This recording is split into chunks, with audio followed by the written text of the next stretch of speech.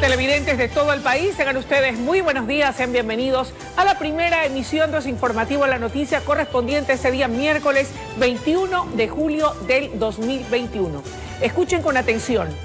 Casi un millón de dólares se pierden por corrupción en materia de matriculación vehicular en tres cantones del Guayas. Alrededor de mil usuarios se saltaron el pago. increíble, insólito, pero está sucediendo.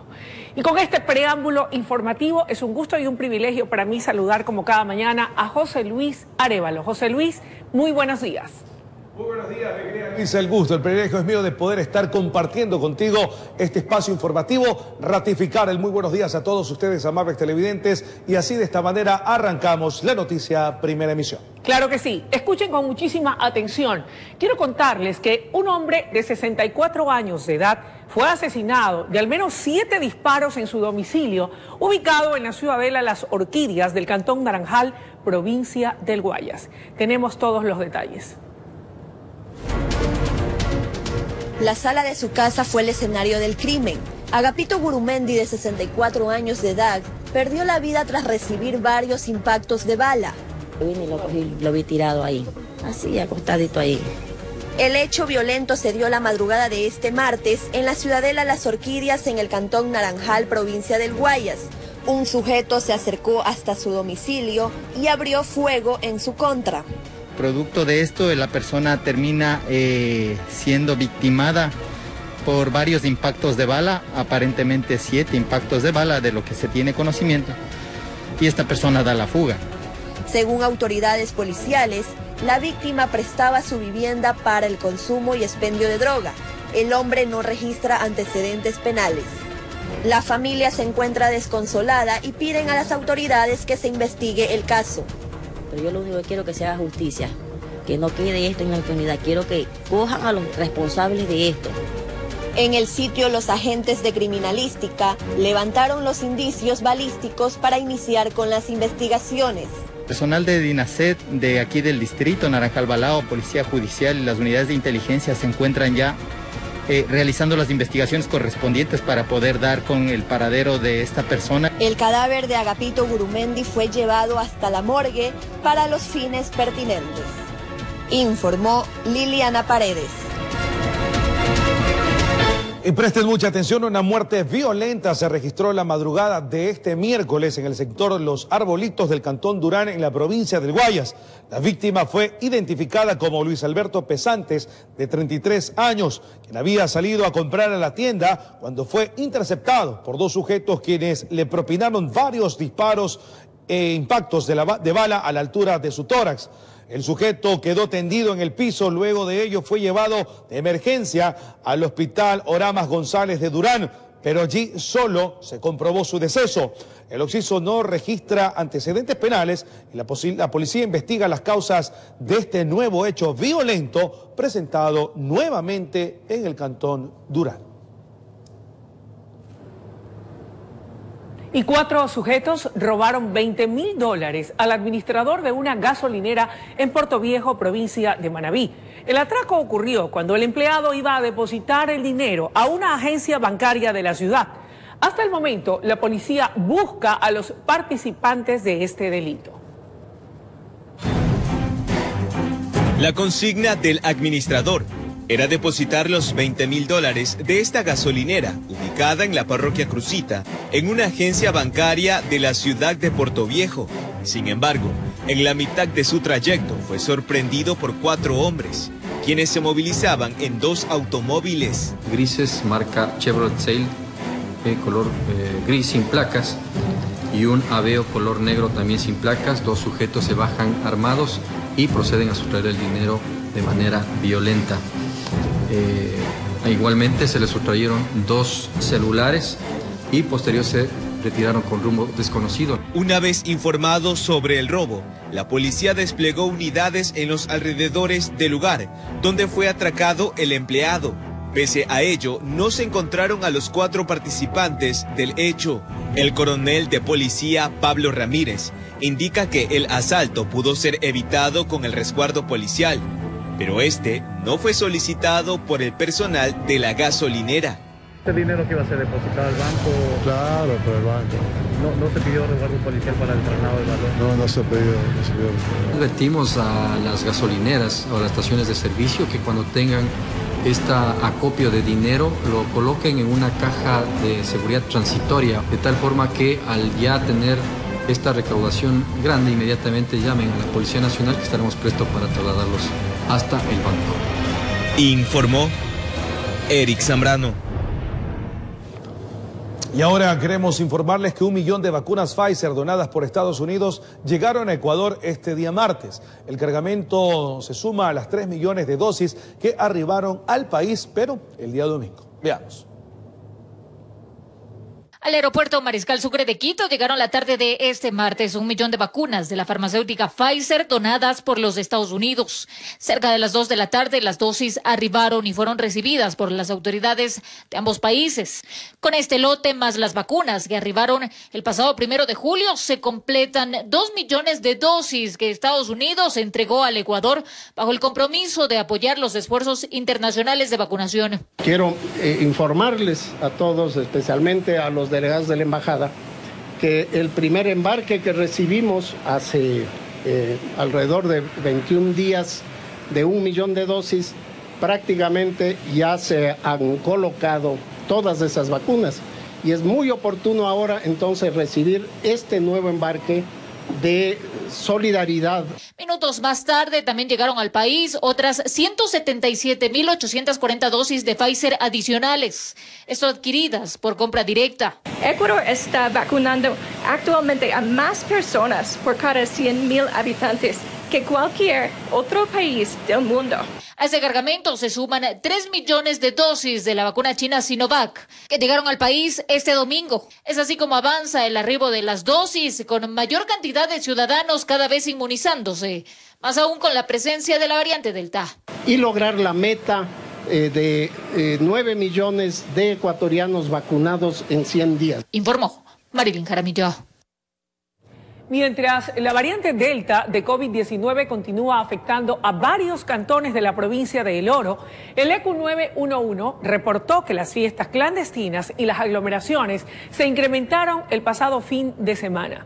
El irrespeto a las normas de bioseguridad preocupa a las autoridades.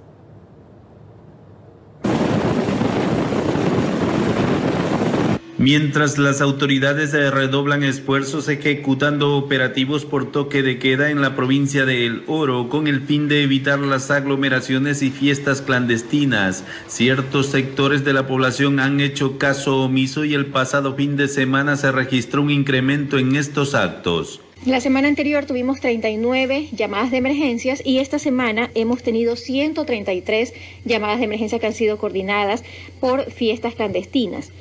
Esto ha aumentado el 241% en este estado de sección. Bailes al interior de viviendas, libadores y canchas deportivas abarrotadas de personas fue lo que se visualizó por las cámaras del Servicio Integrado de Seguridad. En lo que respecta a los principales cantones donde se han venido dando estos, estas llamadas de alerta de emergencias, han sido en Machala, el Guabo, Santa Rosa y Pasaje. Son los principales cantones donde se han venido dando estas, estas alertas. Por otro lado, el esfuerzo de los funcionarios del Ministerio de Salud Pública por querer inocular a toda la población orense los obliga a abrir más puntos de vacunación como este, ubicado en la parroquia Puerto Bolívar, donde habitan cerca de 45 mil habitantes. El día de hoy tenemos previsto hacer la vacunación a 1.600 personas. En el caso de que asistan más, estamos en la capacidad de poder abastecer de más vacunas con la finalidad de inmunizar. En la provincia de El Oro existen cuatro cantones donde se han presentado casos de la variante Delta. Al momento, el Ministerio de Salud mantiene el cerco epidemiológico a las personas infectadas y a los sospechosos que tuvieron contacto. Informó Richard Ceballos. Y más de 200 niños están en proceso de adopción a nivel nacional, según informó la directora de esta área del Ministerio de Inclusión Económica y Social. Por ello, esta cartera de Estado presentó una reforma legal en la que busca agilizar el trámite para darles a estos menores de edad un hogar estable. Veamos. Durante la emergencia sanitaria por COVID-19 se hicieron algunas innovaciones en el proceso de adopciones en Ecuador. Ahora, por ejemplo, ya tenemos un reglamento para las adopciones internacionales. Entonces, al momento tenemos firmado convenios con Estados Unidos, España, Andorra e Italia. Eh, también eh, tuvimos que hacer varias adaptaciones eh, para no dejar de atender a las familias ecuatorianas solicitantes. El curso de formación de familias que se realizaba de manera presencial pues se lo convirtió en virtual.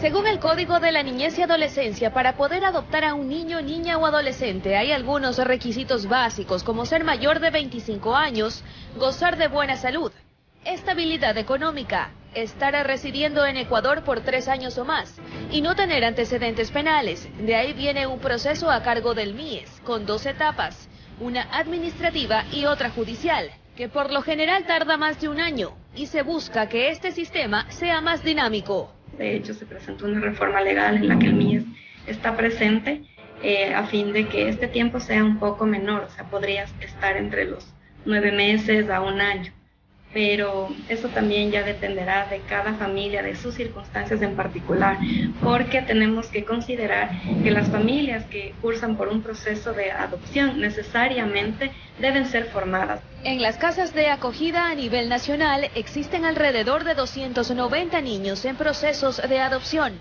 Hay que considerar que muchas veces las familias llegan al proceso esperando adoptar niños pequeños, niños con ciertas características o bebés. Pero la realidad de nuestros niños es que tenemos de todo, ¿no? Pero sobre todo hay niños mayores de 5 años, de 5 a 17 años. Asimismo, la intención es trabajar con las familias para que conscientes y sensibilizados sobre esa realidad tomen la decisión de brindar amor y atención a estos menores ávidos del calor de un hogar. Informó Adriana Peralta. Son las 7 de la mañana con 13 minutos. Amables televidentes, es momento de ir a una pausa aquí en la noticia primera emisión. Pero los invitamos a seguir en nuestra sintonía, pues cuando volvamos tendremos información acerca de cómo varios vehículos en un parqueadero del sur de la ciudad de Quito fueron desmantelados. Todos los detalles de esto y mucho más cuando volvamos aquí en la noticia primera emisión.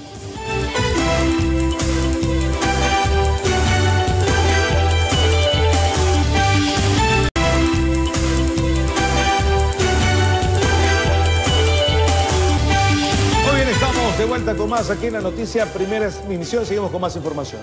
Claro que sí, queremos contarles que varios impactos de bala le propinaron desconocidos a un joven en el sur de Guayaquil. El afectado quedó herido y fue trasladado hasta una casa de salud. Lo que expresa el perjudicado es que al parecer los sospechosos se equivocaron de víctima. Fueron varias detonaciones que se escucharon en el sector Guasmo, al sur de Guayaquil, provocando las heridas de esta persona que casi no vive para contarlo. Según expresó el afectado, se encontraba en un puesto de comidas rápidas esperando su pedido cuando sujetos desconocidos llegaron en una moto y abrieron fuego. De ahí huyeron al darse cuenta de un pequeño detalle porque yo estaba ahí sentado nomás y ellos se acercan y papá disparan y por ahí mismo se van así pero a lo que yo escucho, lo que más dispara, uno de ellos decía que no, él no es, no es, y ahí arrancaron así. Fue trasladado hasta una casa de salud en donde lo atendieron rápidamente. Fue dado de alta y ahora está en recuperación en su casa. Sin embargo, aún no se explica lo que pasó. Todo ocurrió demasiado rápido, Cota. Cuando él dispara tres veces, una, una bala me pegó en el brazo izquierdo, ahí la otra me pega en el muslo, y el misma bala que me pega el muslo me pasa acá abajo. Los moradores del sitio manifiestan que la zona se ha vuelto peligrosa. Piden más resguardo policial, operativos de control. Este, él simplemente estaba aquí conmigo en la casa y, entonces él fue comprando salchipapa y de ahí, este, ¿cómo que se llama? Él, fue en un segundo que él caminó de aquí a la esquina y, y ahí le dispararon. Informó Julio César Saona y varios vehículos fueron desmantelados al sur de Quito, provincia de Pichincha. Ladrones ingresaron a los patios de las viviendas para llevarse computadoras, radios. Para ejecutar el hecho contaron, cortaron las alarmas. Vamos a ver la nota. Los pillos subieron por este muro para poder hacer de las suyas. Aprovecharon que todos dormían para llevarse lo que más pudieron. Abrieron ese taxi, forcejearon las puertas y lo dejaron así, prácticamente desvalijado. Y acceden al vehículo a, a sacarse todo lo que es la computadora, la batería, o sea, parte del, del tablero. Su astucia fue tal que de la parte delantera abrieron el capó y se llevaron lo que más pudieron. Pero ¿cómo es que no sonó? Si tenía las alarmas correspondientes. Que igual los carros estaban seguros con alarmas y todo, y entonces cortan todos los cables para, para no sentir nada. Así es. Eso relata Mateo, quien era el chofer del taxi. Ahora comenta que tendrá que endeudarse para volver a trabajar. Unos 5 mil dólares le dijeron en la casa comercial para reponer todo lo sustraído. Hasta conseguir el dinero para poder comprar las, las piezas. El taxi de su vecino también fue forcejeado, pero este corrió con mejor suerte. No lograron abrirlo.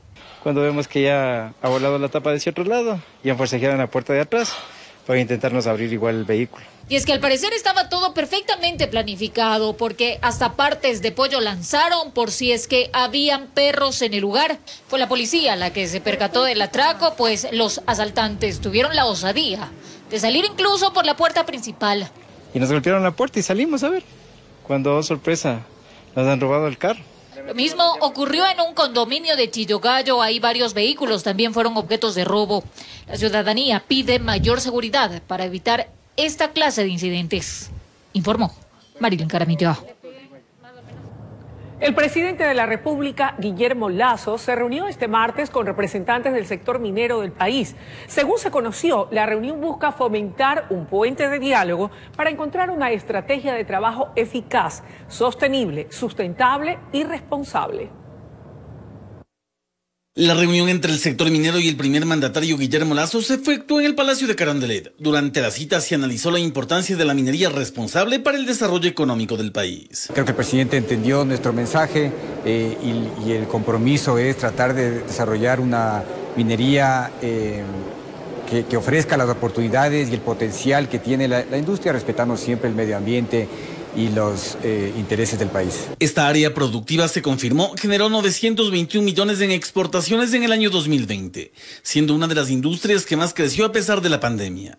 Y se proyecta que para el 2021 este rubro bordee los 1.600 millones de dólares. Además, el sector se caracteriza por ser dinamizador de las economías locales para la generación de encadenamientos productivos y empleo. Los tres últimos años, prácticamente la mitad de la inversión extranjera directa ha venido de la minería. El año pasado se exportó mil millones de dólares con apenas dos minas industriales operando. En este año las predicciones son aún más optimistas. En ese contexto, desde el Ejecutivo existiría la voluntad de aprovechar el potencial minero que tiene la nación, para que de manera mancomunada entre el sector público y privado se logre cumplir los distintos objetivos dentro de la actividad minera responsable. Informó Javier Rosero. En Guayaquil, el bloque legislativo de la lista 6 presentó una iniciativa para garantizar el pago puntual de las rentas y asignaciones del Estado a los gobiernos autónomos descentralizados. El asambleísta nacional Henry Kronfle anticipó que el texto dispone el cese del cargo para el funcionario que incumpla la norma. Esto se presenta el proyecto, ya lo ha dicho Johnny, el socialcristianismo dice que lo vivió en carne propia y por eso presenta el proyecto de ley en defensa de municipios, prefecturas y juntas, para que el pago de las asignaciones estatales no siga bajo la voluntad del déficit en la cuenta única del Tesoro. Vaya inmediatamente esa recaudación al Banco Central, que será el custodio y que habrá, abrirá en el Banco Central las subcuentas para cada una de estas instituciones y en un plazo no mayor a 30 días, como lo determina la ley actualmente, más allá que no se cumple, pero así lo determina la ley, se paguen estas rentas. Hoy el pasivo del Estado Central con los GATS asciende a mil millones de dólares. Aparte, por concepto de devolución del IVA, 700 millones más. Según el texto, funcionario que incumpla las disposiciones será cesado de su cargo. Sería impresentable, por decir de menos, que no se le den o que se mantenga aún la mala costumbre de llevarse la plata ajena para satisfacer necesidades propias de un gobierno central. El objetivo, afirman los asambleístas, es que los fondos asignados por ley con el 21% de los ingresos permanentes y el 10% de los no permanentes garanticen obras y servicios. Es una ley que va a beneficiar a las prefecturas, municipios y juntas parroquiales, pero en específicamente a los ciudadanos de las ciudades y las provincias de nuestro país. La consigna es complementar a beneficio de inventario el dictamen de la Corte Constitucional, que dispuso que el IVA se quedará en las arcas de cada gobierno autónomo descentralizado. Informó Jorge Escobar. 36 de la mañana, amables televidentes, seguimos con más información aquí en la noticia, primera emisión, mi querida Luisa. Claro que sí, quiero contarles que la Policía Nacional detuvo a dos guías penitenciarios en Guayaquil. En un caso, un agente de seguridad es investigada por el intento de fuga de un PPL, mientras que el otro fue retenido por usar una indumentaria no autorizada dentro de las instalaciones. La alerta de elevación de un PPL en la penitenciaría del litoral provocó la aprehensión de una guía del lugar, pues al momento de contar a los privados de libertad del pabellón A1, un ciudadano sentenciado por asesinato no respondió. Un intento de evasión se tiene conocimiento, pero no se había, no se había eh, consumado dicho, dicha situación. Tras la notificación de lo sucedido, la guía fue llevada a la fiscalía, donde se investigará la posible responsabilidad en el intento de fuga del PPL. Estamos todavía en el trámite respectivo para que la autoridad que está buscando conocimiento pueda disponer si procede o no procede a la aprehensión de la ciudadana eh, ACP. Sin embargo, no fue el único caso donde un agente de seguridad penitenciaria se ve involucrado en problemas. En la mañana del martes, un guía fue detenido tras ingresar con una indumentaria no autorizada. Una camiseta tipo polo. Inmediatamente se tomó procedimiento dentro del protocolo de seguridad y había sido trasladado a la fiscalía para que la autoridad pueda eh, disponer lo pertinente en este sentido de la palabra. Posterior del trámite, había considerado que no, no se procede a, la aprehensión del, del ACP. Informó Eric Zambrano. Y se ejecutaron varios allanamientos en el cantón El Triunfo, provincia del Guayas, con la finalidad de dar con el paradero de una organización delictiva, la cual se dedica al robo de vehículos de carga. No tenemos los detalles de inmediato.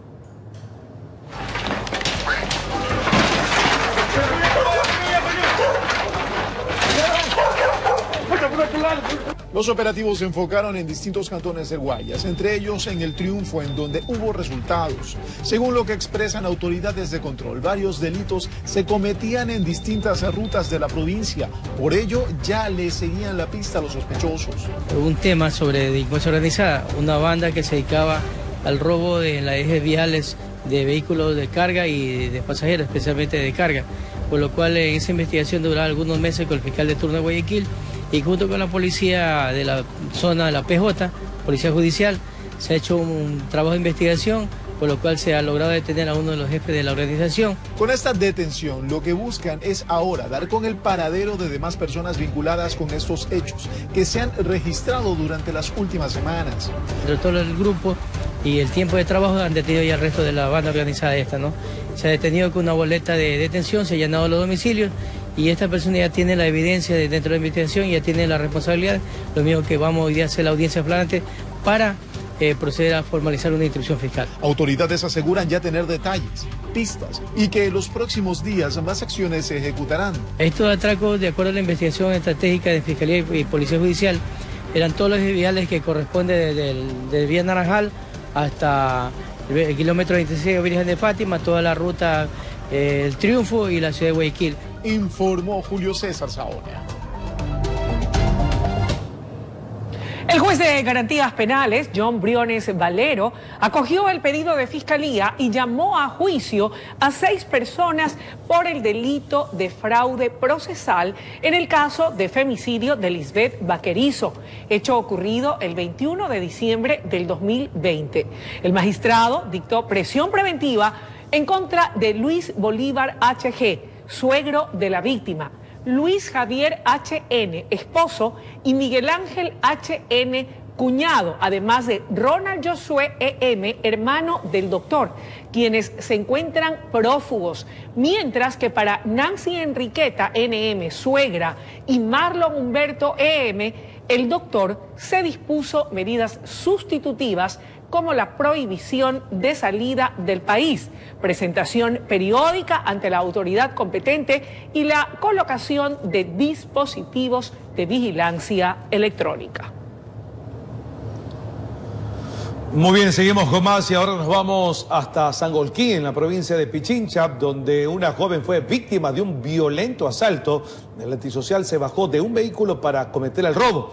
Mientras en el sector de Coto Callao, por eh, parroquia urbana de Quito, una motocicleta estacionada en la vía pública fue sustraída en cuestión de segundos. Veamos. ¿Hasta cuándo, Padre Almeida? Dice el adagio popular. No hay día que las cámaras de seguridad se conviertan en testigos mudos del accionar delictivo. Esta vez una joven que caminaba a su trabajo por la calle Tocachi en la ciudad de Sangolquí sufrió un violento asalto. Nunca se percató que por la parte posterior el peligro la acechaba. Mi madre dice que ha escuchado un grito. A partir de eso ella está a salir de atrás y querer avisar a alguien ya no había habido nadie. El video revela la presencia de un automóvil blanco.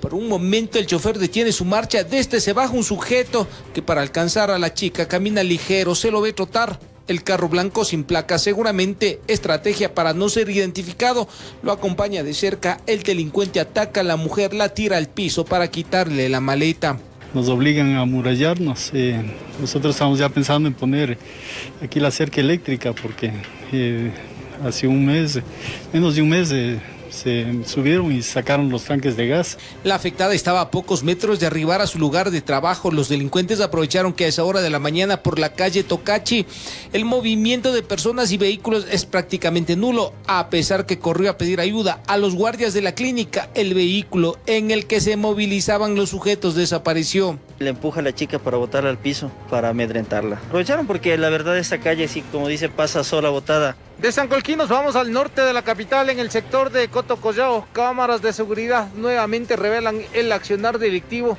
En esta oportunidad, un sujeto se roba una motocicleta en menos de 30 segundos. Historias que se repiten. El dueño del pequeño vehículo lo dejó estacionado en la calle Mariano Cruz. Un sujeto aparece en escena. Nadie se imagina que tenía la mirada puesta en la motocicleta. Se lo ve pasar como analizando la situación. De pronto decide regresar y en menos de 10 segundos logra encender la moto. Y hasta luego. En Quito informó Iván Casamen. Terrible la delincuencia en todas partes del Ecuador. Son 7 y 43 de la mañana y es momento de salir de estudios, Luisa. Claro que sí, José Luis y amables televidentes. A esta hora de la mañana vamos a salir a exteriores para tomar contacto con Carlos Julio Gurumendi. Carlos Julio, muy buenos días. Indícanos dónde te encuentras a esta hora de la mañana y cuál es tu reporte. El Ecuador te escucha. Veamos.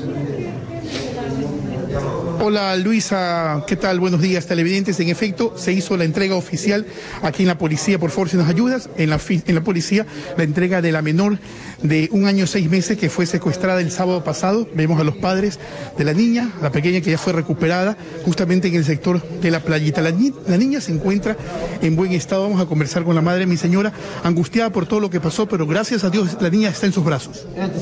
Claro, este, sí, ya la tengo conmigo, estoy feliz de tenerla conmigo.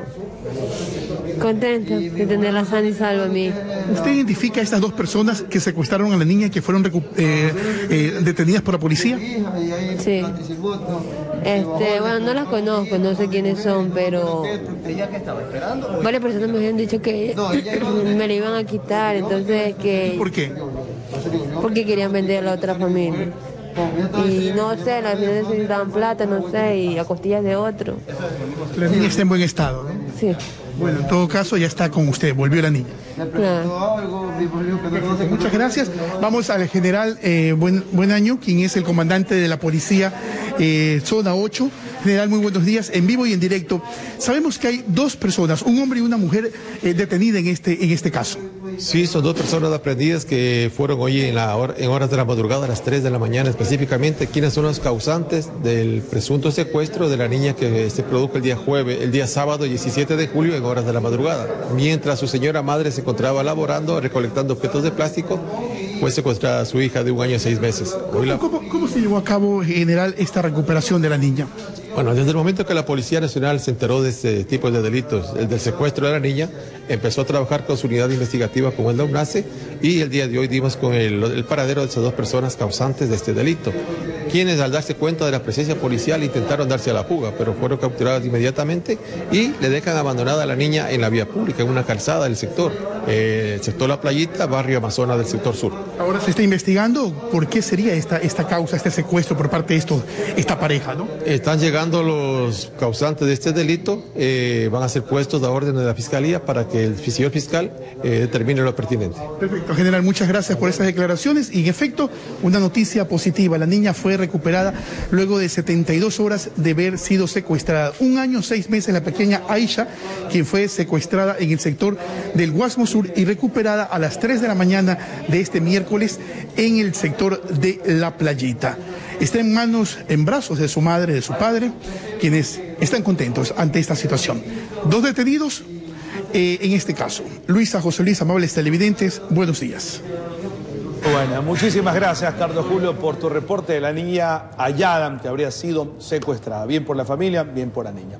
Es momento de hacer una pausa, Luisa. Claro que sí, pero los invitamos a seguir en nuestra sintonía, pues enseguida volvemos con mucha más información aquí en La Noticia, primera emisión. Ya volvemos.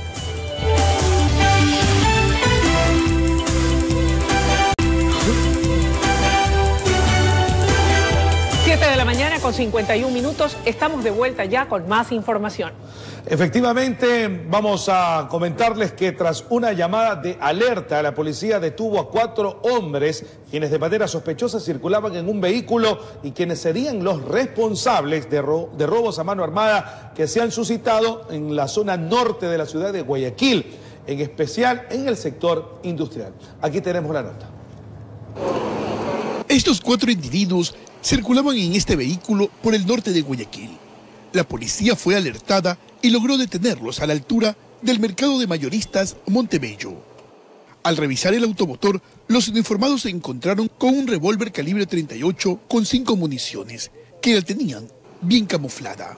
No hubo resistencia en razón del, número de servidores policiales que actuaron en esta, en esta operación, razón por la cual pues, se pudo neutralizar de manera inmediata a los cuatro individuos.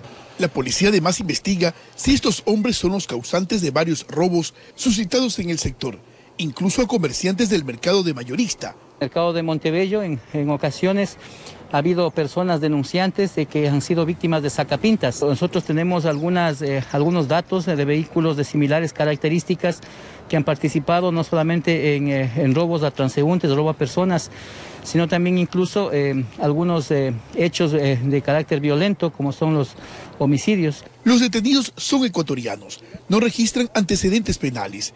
El propietario del vehículo sería uno de los detenidos, quien lo alquilaba como taxi informal y sobre todo era utilizado para sus fechorías. Tanto las evidencias como los detenidos fueron puestos a órdenes de las autoridades competentes, informó Carlos Julio Gurumendi. 1.738 galones de combustible que eran transportados en una embarcación de nombre Dios con nosotros fueron decomisados por la Armada del Ecuador este martes 20 de julio, aproximadamente a las 15 horas 3 de la tarde en las costas de Esmeraldas. A bordo se encontraban dos personas de nacionalidad colombiana que no pudieron justificar la tenencia del combustible mismo que se presume iba a ser comercializado en Tumaco, Colombia.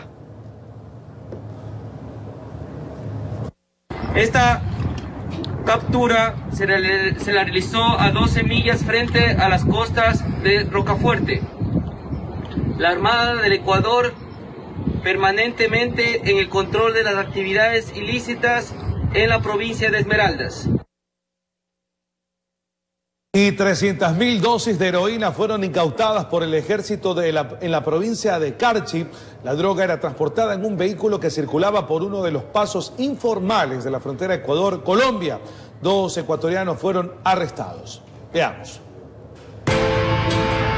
Este camión de placas ecuatorianas transitaba por uno de los pasos informales. Entrada la noche y sin carga, levantó la sospecha de la unidad de inteligencia del ejército, quienes al realizar el registro exhaustivo del camión les llama la atención un costal de yute en el que se encontraban 900 cápsulas de heroína. En el registro se decomisó nueve paquetes. Dentro de esos nueve paquetes tenían un total de 904 cápsulas de presumiblemente heroína. Todo este material fue entregado a la Policía Antinarcóticos para los trámites legales. De este decomiso existen miles de dosis que fueron impedidas que lleguen a los consumidores. Se logra quitar del mercado nacional 300 mil dosis aproximadamente de este alcaloide. Esta droga llega generalmente a ciudades como Guayaquil, en donde es conocida como la H. El alcaloide que fue encontrado, de acuerdo a los expertos, sería puro. Sin embargo, se conoce que al consumidor le llega mezclado con otro tipo de sustancias, siendo aún más nocivas para la salud. La ruta que seguía este alcaloide era en Colombia, Ipiales, Tulcán y posterior salía para eh, el centro del país.